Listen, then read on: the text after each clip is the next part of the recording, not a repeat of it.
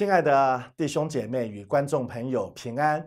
很开心又到了我们马太福音圣经课程的时间。今天我们要进入到第二十五讲，我们要查考的经文是在马太福音第七章十三到二十九节。我所要传讲的题目是耶稣的比喻。如果亲爱的朋友，你手上有圣经的话，可以让我们一起打开马太福音第七章，我们要从十三节读到二十九节。好，那我们用祷告的心一起来攻读上帝的话。你们要进窄门，因为引到灭亡那门是宽的，路是大的，进去的人也多；引到永生那门是窄的，路是小的。找着的人也少，你们要防备假先知，他们到你们这里来，外面披着羊皮，里面却是残暴的狼。凭着他们的果子就可以认出他们来。荆棘上岂能摘葡萄呢？棘里里岂能摘无花果呢？这样，凡好树都结好果子，唯独坏树结坏果子。好树不能结坏果子，坏树不能结好果子。凡不结好果子的树，就砍下来丢在火里。所以，凭着他们的果子，就可以认出他们来。凡称呼我主啊、主啊的人，不能都进天国；唯独遵行我天父旨意的人，才能进去。当那日。必有许多人对我说：“主啊，主啊，我们不是奉你的名传道，奉你的名赶鬼，奉你的名行许多异能吗？”我就明明的告诉他们说：“我从来不认识你们，你们这些作恶的人，离开我去吧。”所以，凡听见我这话就去行的，好比一个聪明人把房子盖在磐石上。雨淋、水冲、风吹，撞着那房子，房子总不倒塌，因为根基立在磐石上。凡听见我这话不去行的，好比一个无知的人把房子盖在沙土上，雨淋、水冲、风吹，撞着那房子，房子就倒塌了，并且倒塌的很大。耶稣讲完了这些话。众人都稀奇他的教训，因为他教训他们，正像有权柄的人，不像他们的文士。亲爱的弟兄姐妹，当我们读了这一段，我们有一点想象力，仿佛回到两千多年前，在耶稣讲这比喻的现场，是何等的生动，是何等的活泼。当时的群众聚精会神、认真的来听耶稣的讲道，讲这些比喻。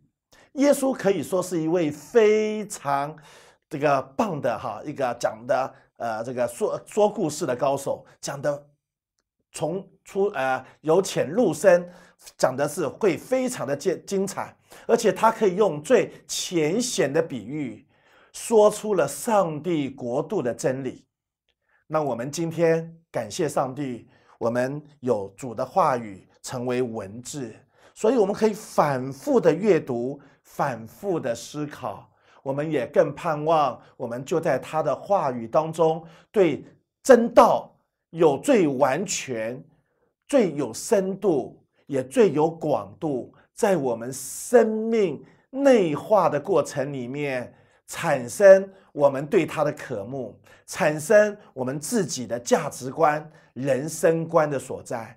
因为人的受造不是只有在吃喝而已，人的受造还有一个有灵的活人，要与这位上帝生命的连结，而上帝的话却供应了我们生命的灵粮。所以感谢主，我们透过今天。耶稣要讲的这些比喻，让我们扎实的领受。所以圣经里面常讲，神的道是要让我们扎心的啊，扎心啊，不是听了我们猛点头觉得开心而已啊。有时候那个扎心是直指我们生命里面有关罪的问题。所以基督徒是对罪敏锐，基督徒是渴慕上帝的圣洁，是渴慕他的真道。我们古代的华人在寻求真道，希望天人合一，总是遇到了一个瓶颈，越不过去。如今耶稣基督道成肉身，我们可以透过基督，不单单天人合一，而且享受那属灵的属天的福分、属天的丰盛生命。所以这个天人合一，好，就是圣经里面我们常讲的以马内利。出来就是神与我们同在。用圣经的话，用我们华人文化的话来讲的话，就是天人合一了。感谢主，上帝透过他的爱子耶稣基督，用最浅显的话语、最浅显的比喻，使人能够明白上帝的真道。在开始的时候，十三、十四节，在第一大段啊，讲到。他耶稣直指人的生命路程，可以说只有两条门路。当耶稣用这些比喻跟会众传讲的时候，这也是上帝啊，这个呃这个布道法啊，是耶稣用的一种布道的模式。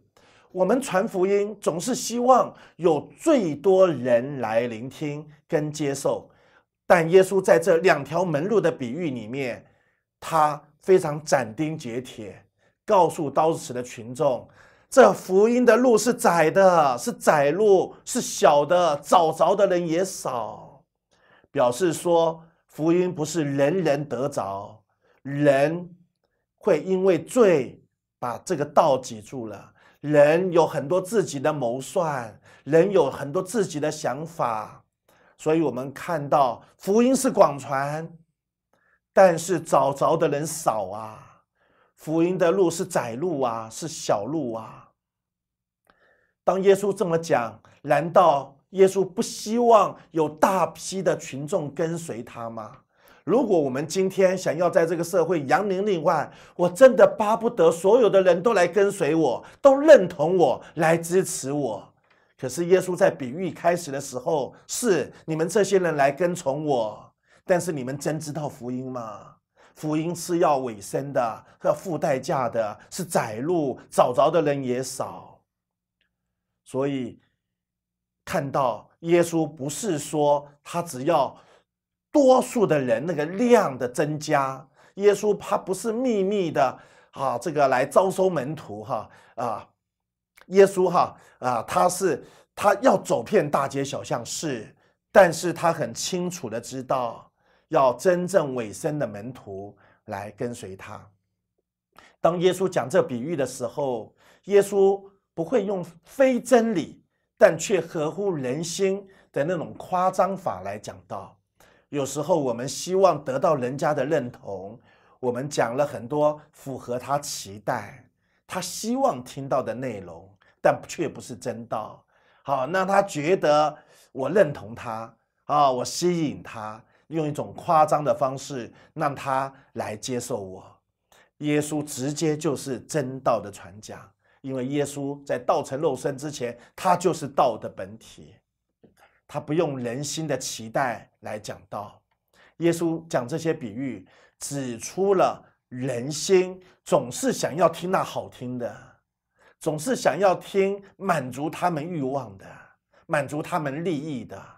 符合多数人所期待的，耶稣不是要这样的人来跟随他，所以今天我们传福音，我们不是只是为了量的增加。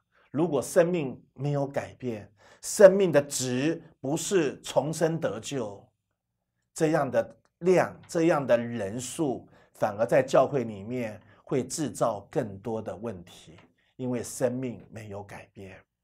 耶稣要的是真实的重生得救的儿女，愿意委身来跟随他做门徒。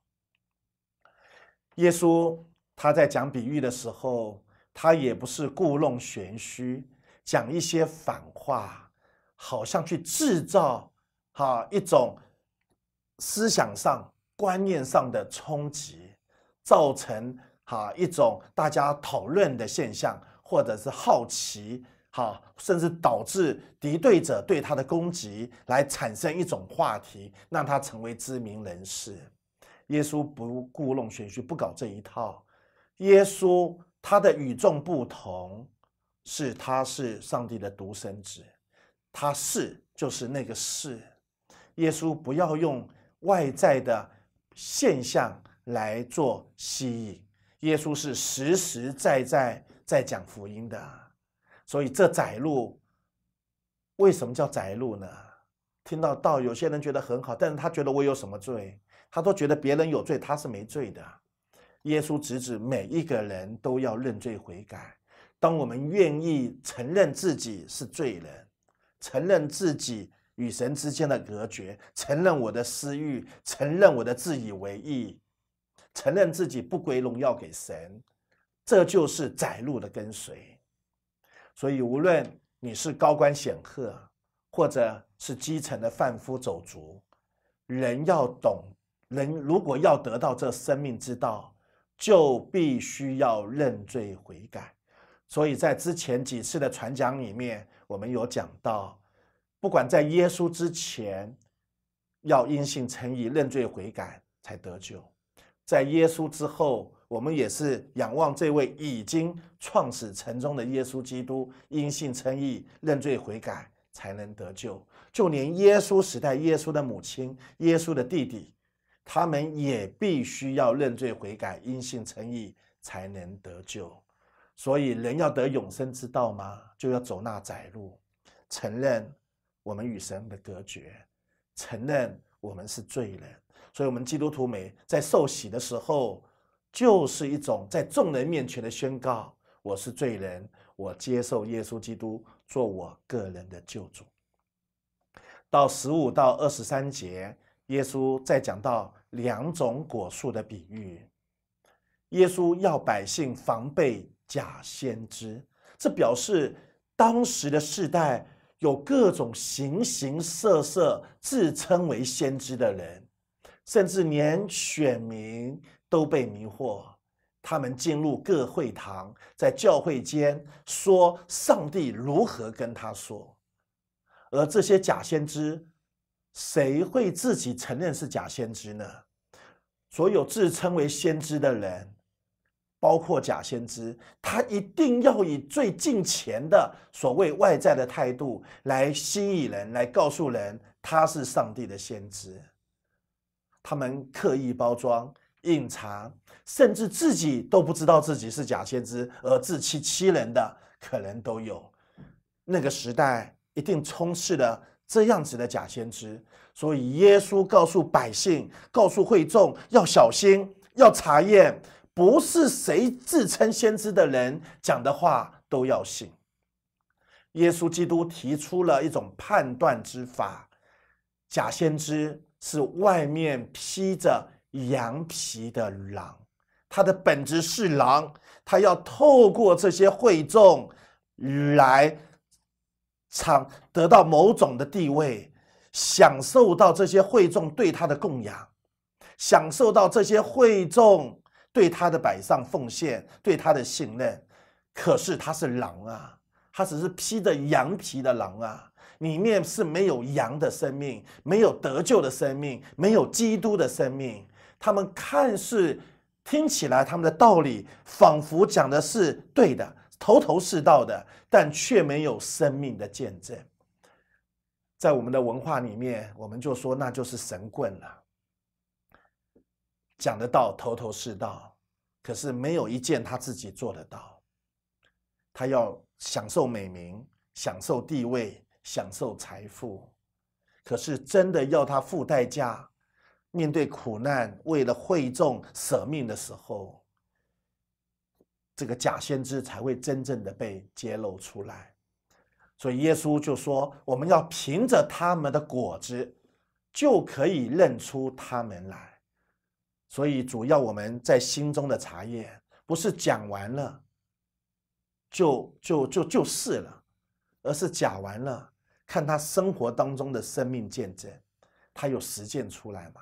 他有做到一个神儿女仆人的那种生命榜样与见证吗？主告诉我们，这是我们每一个基督徒都可以具备的能力。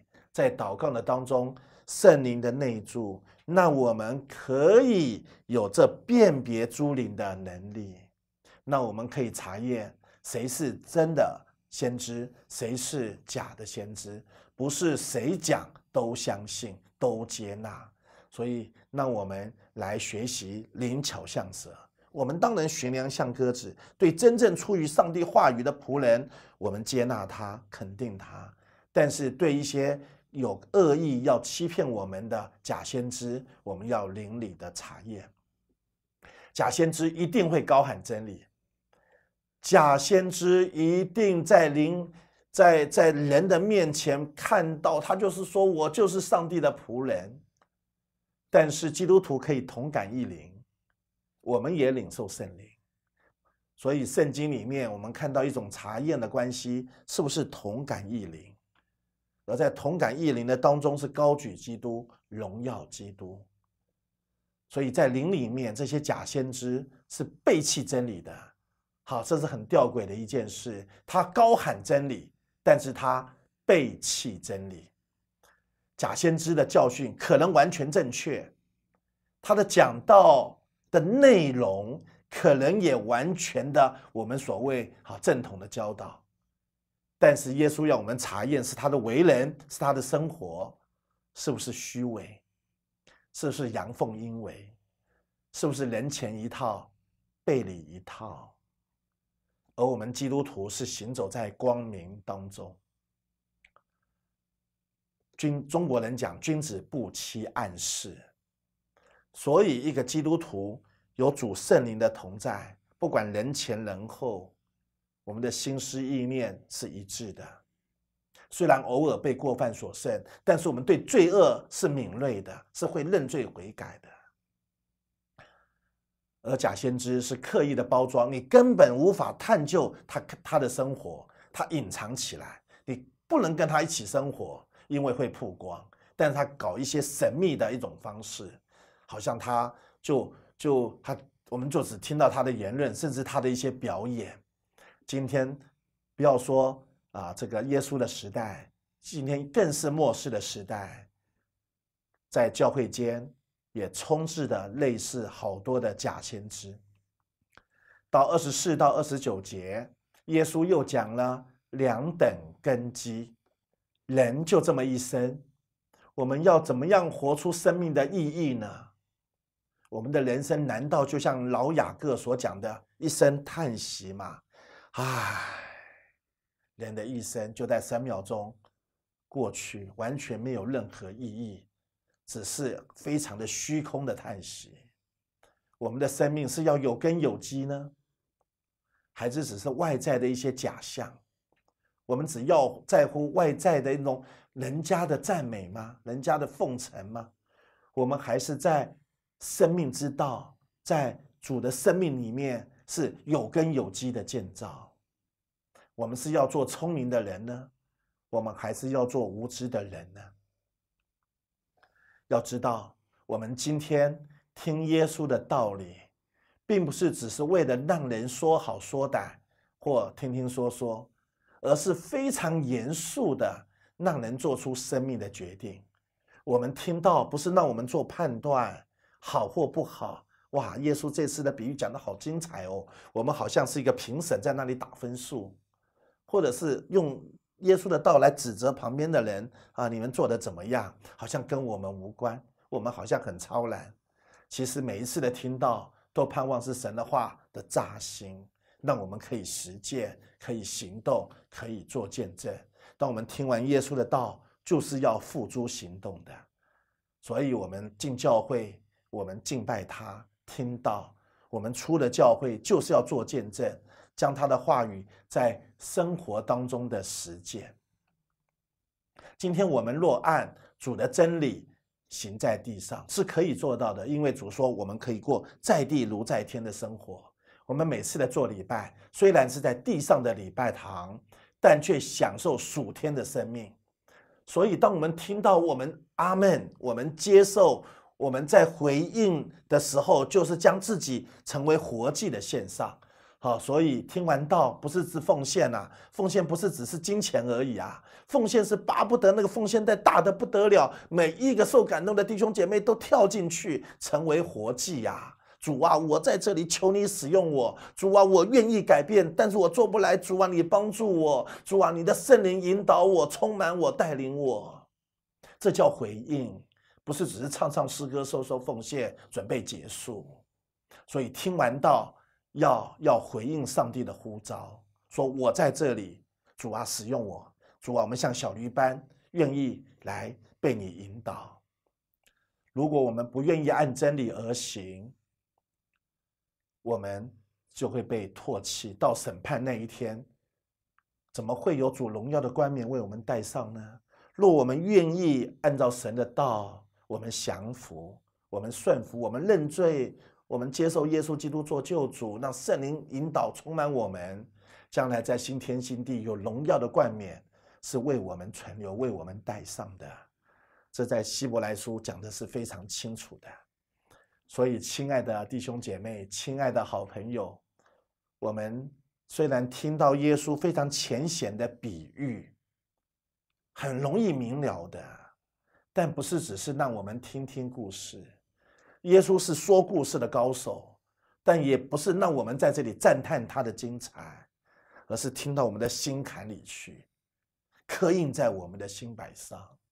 那我们回应上帝的呼召，我们阿门，我们顺服，就只把我们透过他的道，把我们带到在地如在天的享受，在地如在天生命的得着，是可以实践的。圣经里面的话语。都是可实践、可遵守的。上帝不会画一个空中的大饼，说你们要如此行，我们却做不到。我们不是在旧约时代守那些律法，我们乃是因着耶稣基督在他的恩典应许当中，我们一定做得到。但是要被圣灵引导，被圣灵充满，好不好？亲爱的好朋友、弟兄姐妹。我们在这一篇耶稣的比喻的正道当中提醒我们，我们也在祷告里面来回应他的呼召。我们一起低头祷告，至圣荣耀的父神，因着耶稣的比喻，直指天国的真道。那我们这群听到的人，仿佛两千多年前的那群会众，我们心中扎心，我们回应神的道。我们愿意成为活祭，献在神的面前。听完道，不是鼓掌说好，主啊，乃是尾声。尾声在灵粮的供应当中，被分别为圣，在地上成为主极美的见证人。不是我们的靠自己可以做了什么，乃是奉主的名，我们来荣耀他。谢谢主垂听我们的祷告，让我们心思意念的变化。祷告奉主耶稣基督的圣名求，阿门。